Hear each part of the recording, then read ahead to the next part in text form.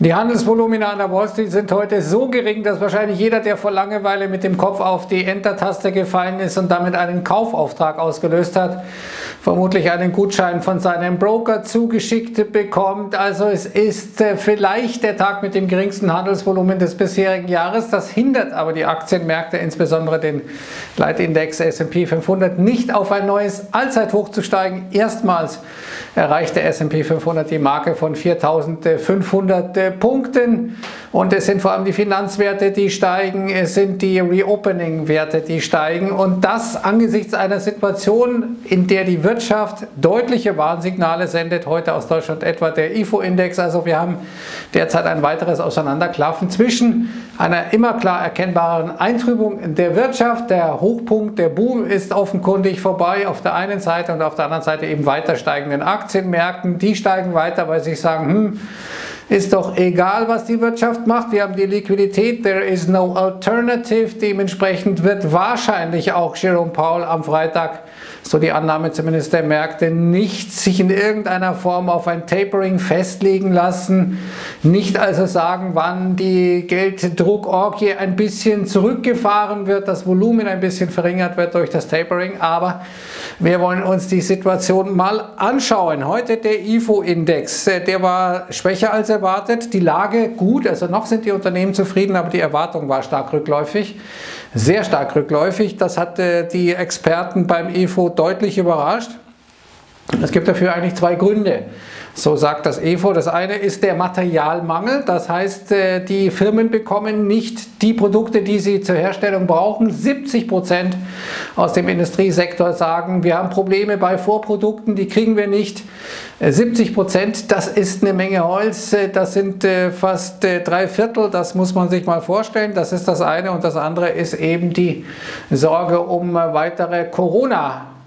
Einschränkungen um die Corona-Welle, die vierte Welle, die derzeit äh, läuft. Wir haben äh, jetzt äh, wieder steigende Zahlen in Deutschland. Wir haben jetzt auch, by the way, wieder steigende Zahlen in UK mit über 35.000, gestern noch 30.000. Es gab ja eine Zeit lang, da sind die Corona-Fälle in Großbritannien wieder rückläufig gewesen und in den USA sagt man ja, der Hochpunkt ist überschritten, aber wenn UK sozusagen das Beispiel ist, dann könnte es dann auch bald in den USA wieder nach oben gehen. In Deutschland ist die Kurve sowieso relativ äh, klar nach oben gerichtet. Also wir sehen Materialmangel, Corona, das sind die Probleme, die man hat und die Erwartungen der von den vom IFO befragten Firmen, die sind deutlich nach unten gegangen. Und normalerweise sehen wir, dass es da auch eine Korrelation gibt äh, mit dem DAX, der doch relativ parallel läuft zu den IFO-Erwartungen. Klar, weil der DAX wie Aktienmärkte insgesamt ja normalerweise vorausschauend sind. Die interessieren sich für die Zukunft. Die äh, Firmen interessieren sich auch für die Zukunft, äußern Erwartungen und je schlechter die sind, umso schlechter dann auch wahrscheinlich die Zukunftsperspektive. dennoch ist zum Beispiel heute auch der MDAX auf ein neues Allzeithoch gestiegen. Also dieser Index von mittelgroßen deutschen Firmen, allerdings konnte er diese Gewinne dann nicht halten, anders als der S&P 500, der DAX wenig verändert, leicht schwächer.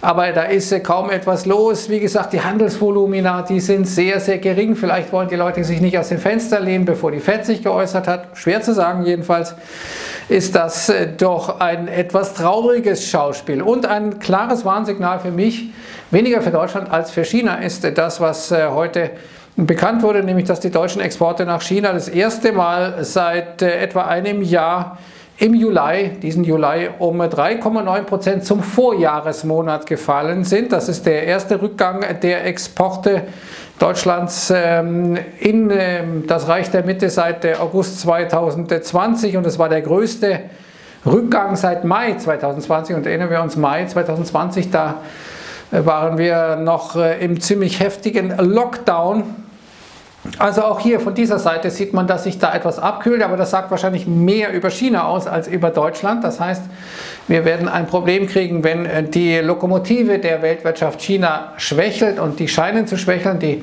Notenbank in China und die Regierenden haben ja durchblicken lassen, dass man moderat stimulieren wird, dass man also zum Beispiel Kohlekraftwerke wieder ans Netz bringen will etc., um irgendwie die Geschichte so ein bisschen äh, nach oben zu ziehen. Mal sehen, ob es gelingen wird, aber auf jeden Fall sind das doch relativ deutliche Warnzeichen, die die Wirtschaft da sendet. Und normalerweise, wenn jetzt die Wirtschaft sich eintrübt, dann dürfte das auch nicht an den Gewinnen der Unternehmen vorbeigehen. Ich hatte diese Grafik schon mal gezeigt. Wir sehen hier den City Economic Surprise Index, der ja für alle wirklich wichtigen Wirtschaftszonen dieser Welt jetzt im Negativen ist. Das heißt, die Wirtschaftsdaten enttäuschen, auch die Auftragseingänge heute langlebiger Wirtschaftsgüter hätten enttäuscht in den USA, wenn man nicht Seasonal Adjustments betrieben hat, also saisonale Anpassungen, also mit anderen Worten, man hat ein bisschen geschraubt an den Zahlen, gell, vielleicht brauchte jetzt die beiden Administrationen mal wieder ein paar gute Nachrichten nach dem Afghanistan-Desaster, das die Zustimmungswerte für Biden ja deutlich nach unten gebracht hat. Dazu gleich mehr. Schauen wir aber nochmal die verschiedenen Weltregionen an. Manufacturing Output. Wir sehen, dass gerade das Gewerbe jetzt auch wieder rückläufig ist. Äh, das ist äh, nicht nur Dienstleistungssektor, der Angst hat, besonders vor Corona, sondern eben auch das Gewerbe. Wir sehen die verschiedenen Zonen.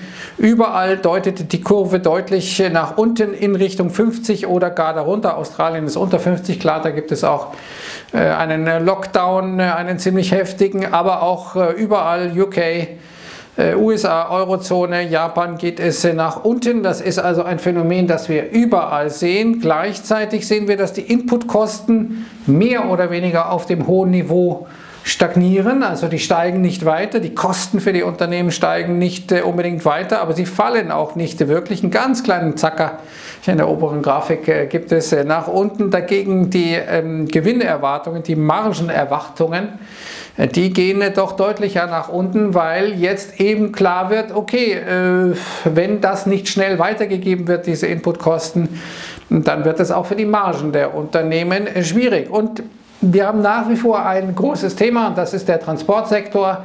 Es gibt zu wenig Schiffe offenkundig und dementsprechend sind die Transportkosten besonders hoch. Wir sehen der Baltic Dry Index heute mit dem höchsten Stand seit 2009, also da keinerlei Entspannung in Sachen Kosten für Transport. Und wir sehen, und das äh, ist interessant, hatte ich vorhin schon angekündigt, die Republikaner, die wollen jetzt, die US-Republikaner, die wollen jetzt Werbekampagnen schalten in den USA schon in Richtung Midterm Elections. Und was ist da das Thema Afghanistan? Nein, sondern es ist die Inflation, weil das sozusagen alle Haushalte betrifft. Also wir sehen, wie die Republikaner die Lage einschätzen, dass Inflation ein wirkliches Thema ist, dass es die Haushalte betrifft, dass die Leute Angst haben vor Inflation. Da will man sozusagen in diese Kerbe reinstoßen und die beiden Regierungen attackieren. Democrats created an inflation crisis, so heißt es da. Ja, und jetzt sollen dann nochmal weitere Billionchen in die Hand genommen werden, um äh, hier Infrastruktur etc. zu machen. Wird sehr schwierig, das alles durchzusetzen. Wir werden sehen, was da passiert. Hier sehen wir, dass jetzt äh, nicht nur in Relation Marktkapitalisierung zum BIP in den USA die Dinge ein bisschen hoch bewertet sind, sondern dass wir auch äh, in Sachen Corporate Profits zum GDP, also das, was die Unternehmen äh, an Einnahmen, an Gewinnen erzielen in Relation zum BIP, auch sehr hoch ist. Also man kann jetzt nicht sagen, dass trotz der hervorragenden Berichtssaison, die wir hatten in den USA, die wirklich gut war, gar keine Frage, aber die war natürlich auch ein Stück weit bedingt durch diese Stimulierungen, durch Helikopterchecks, durch äh, Programme äh, durch äh, staatliche Programme. Also das ist kein Wunder, dass die Zahlen dann gut sind. Aber jetzt sehen wir, dass es schwieriger wird. Wir werden schon im dritten Quartal wahrscheinlich sehen, dass die Dinge sich abkühlen. Und im vierten Quartal wird es noch schwieriger, weil wahrscheinlich das Weihnachtsgeschäft nicht so laufen kann aufgrund der Transportprobleme wie es eigentlich vielleicht laufen könnte. Also wir sehen, es ist jetzt nicht gerade günstig, aber das interessiert die meisten nicht, die sagen, ist doch egal, Hauptsache Liquidität, das ist das, was zählt. Und da kann die Realwirtschaft machen, was sie will. Das interessiert uns nicht. Vielleicht muss man so vorgehen, auch als Profi-Investor, das ist die große Frage. Jedenfalls sehen wir, dass jetzt die Renditen für Staatsanleihen heute, deutlich steigen. Etwa die 30-jährige deutsche Staatsanleihe 6 Basispunkte, größter Anstieg seit dem 3. Äh, März diesen Jahres. Dann die 10-jährige deutsche Anleihe Vier Basispunkte, größter Anstieg seit Mitte Juni und äh, das ist schlecht für Gold. denn damit äh, werden die Realrenditen weniger negativ, wenn die Renditen steigen. Die Inflation hat sich ja von gestern auf heute jetzt nicht verändert seit der letzten Veröffentlichung. Dementsprechend werden die Realrenditen etwas weniger negativ. Das äh, bringt Gold unter Druck und Gold könnte vor einer großen Bewegung stehen, weil wir hier so einen Trichter ausbilden. Äh, das läuft äh, ziemlich äh, auf eine größere Bewegung hinaus und es steht zu fürchten, für die Goldpolen zumindest, dass diese Bewegung nach unten sein könnte. Wenn da jetzt nicht bald eine Drehung kommt, dann könnte das für das gelbe Metall erstmal schwieriger werden, könnten auch die Renditen für US-Staatsanleihen weiter steigen. Und kommen wir zu dem Thema Corona, Materialengpässe, Lieferkettenprobleme haben wir schon thematisiert. Delta Airlines, die amerikanische Fluglinie, hat jetzt gesagt, jeder Angestellte, der nicht äh, geimpft ist, der muss äh, 200 Dollar bezahlen an das Unternehmen. Man sagt nämlich in einer Mitteilung hier, dass durchschnittlich ein äh, Mensch, der praktisch hospitalisiert werden muss, der ins Krankenhaus muss wegen Corona, weil er nicht geimpft ist, 40.000 Dollar das Unternehmen gekostet hat. Und man sagt, äh, dass alle Angestellten von äh, dieser Fluglinie, die ähm, oder dass äh, nur Hospitalisierungen bisher vorgekommen sind äh, bei dieser Fluglinie von Menschen, die eben nicht durchgeimpft waren praktisch.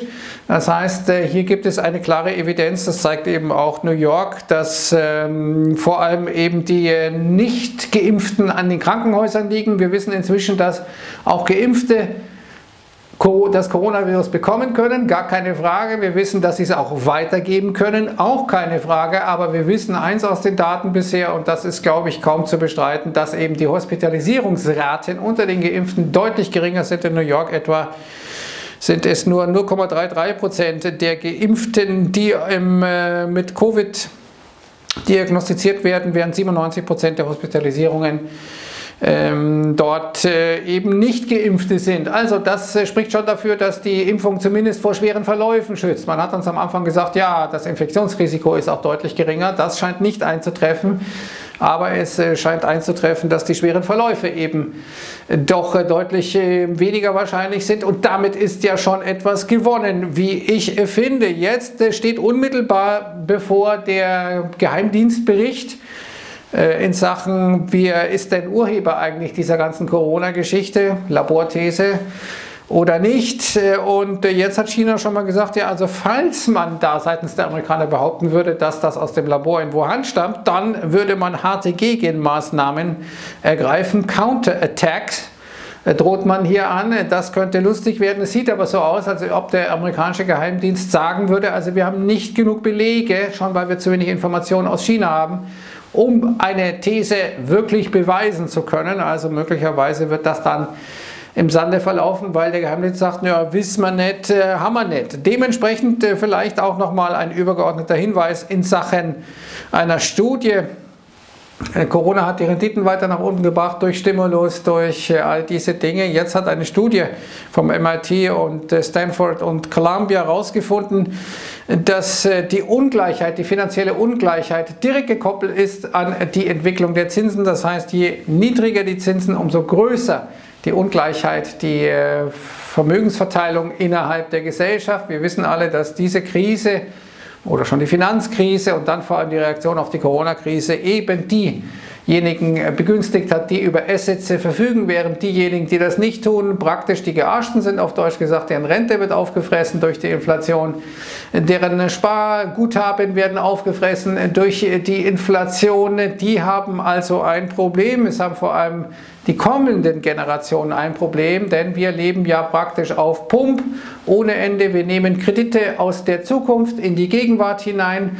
Irgendwann aber müssen diese Kredite auch wieder zurückbezahlt werden, wahrscheinlich von unseren Kindern. Und ähnliches hat heute in einem, wie ich finde, faszinierenden Interview Paul Kirchhoff gesagt, der ehemalige Verfassungsrechtler der von einer verfassungswidrigen Enteignung der Sparer spricht und das mal runterbricht, was das eigentlich für die Leute konkret bedeutet, das mal an äh, Bildern festmacht, der Realität, an Lebenswirklichkeiten festmacht, dass es eben nicht abstrakt und dementsprechend äh, klar zeigte, was die Notenbank da macht, das ist eigentlich grob fahrlässig, das ist äh, auch wieder der deutschen Verfassung und müsste eigentlich ganz klar verboten werden. Wie gesagt, das äh, ist etwas, was äh, einen größeren Zusammenhang mal zeigt. Ich weiß, dass viele eben sich über Gewinne mit Long-Positionen freuen, ist völlig legitim, aber es gibt auch den einen oder anderen, dem vielleicht das Lachendach doch im Halse stecken bleibt, weil er erkennt, dass das alles seinen Preis haben wird, dass die Gesellschaft einen hohen Preis für das bezahlt, was derzeit passiert. Dieser Preis ist von einigen bereits zu bezahlen, Sparer, Rentner etc wird aber auch von denjenigen, die jetzt noch sich über diese Gewinne freuen, auch zu bezahlen sein in Form von gesellschaftlichen Konflikten etc. etc. Ich werde in diesen faszinierenden Artikel respektive die faszinierenden Aussagen von Paul Kirchhoff unter das Video packen, sodass ich Sie animieren möchte, sich die Zeit zu nehmen, das mal anzuschauen. Da kommt alles auf den Punkt, was ich eigentlich auch denke in Sachen, was da abläuft und warum das schädlich ist, auch wenn natürlich viele sich freuen und sagen, hurra, wir haben neue Rekorde an den Aktienmärkten. In der Rückschau wird das einen sehr, sehr schalen Beigeschmack wahrscheinlich haben. Wir werden sehen. Ich wünsche jetzt erstmal einen wunderbaren Feierabend und sage Ihnen Servus und ciao.